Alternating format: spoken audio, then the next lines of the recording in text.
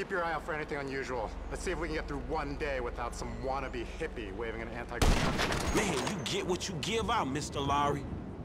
We got a shooter! Take cover! Shots fired! Shots fired! Where is that son of a bitch? Keep!